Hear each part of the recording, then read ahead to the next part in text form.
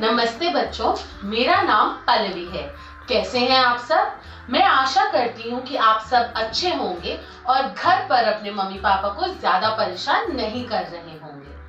आज का हमारा विषय है, आ की मात्रा। कौन सी मात्रा? आ की मात्रा। बिल्कुल सही। तो आइए, पहले हिंदी वर्णमाला का एक बार अभ्यास कर लें।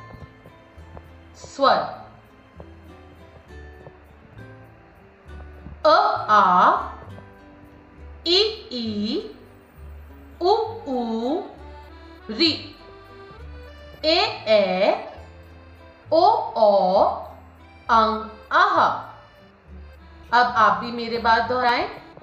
अ, आ, इ ई उ ऊ री। ए ए, ओ ओ अंग आहा अब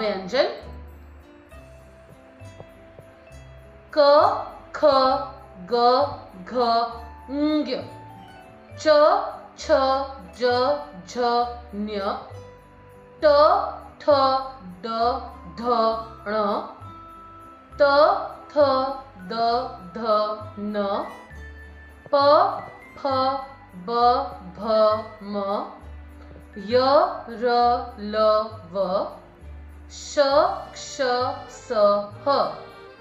अब आप भी मेरे बात दोहराएँ।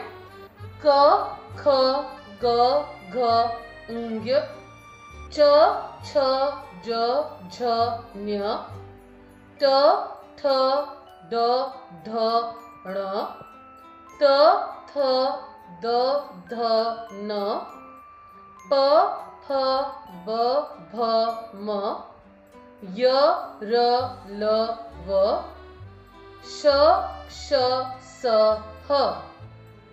तो बच्चों, स्वरों को हमने सीख लिया, व्यंजनों को भी पढ़ लिया। चलो अब कर लें पूरी तैयारी। आइए अब मात्राओं की बारी। आ की मात्रा।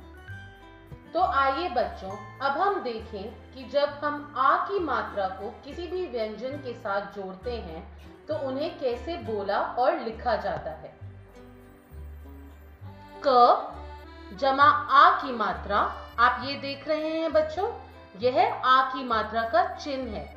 एक सीधी रेखा और उसके ऊपर छत। दोबारा देखेंगे, एक सीधी रेखा और उसके ऊपर छत। क जमा आ की मात्रा बन गया का। ख जमा आ की मात्रा बन गया खा।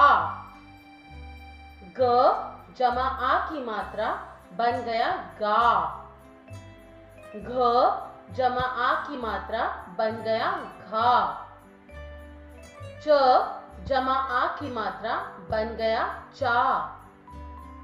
इसी प्रकार हम बाकी व्यंजनों में आ स्वर की मात्रा जोड़कर उन्हें बोलने और लिखने का अभ्यास कर सकते हैं।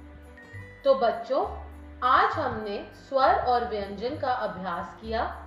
आ की मात्रा के चिन्ह को पहचाना और उसका सही उच्चारण सीखा।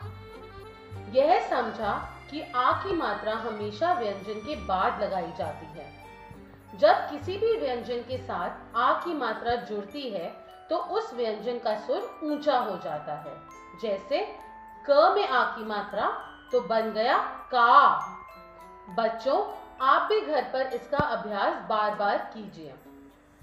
अब आ की मात्रा के बारे में और हम अगले वीडियो में पढ़ेंगे। मैं आशा करती हूँ कि आप सबको यह वीडियो पसंद आया होगा और आप सब इसे दोबारा ज़रूर देखेंगे। धन्यवाद।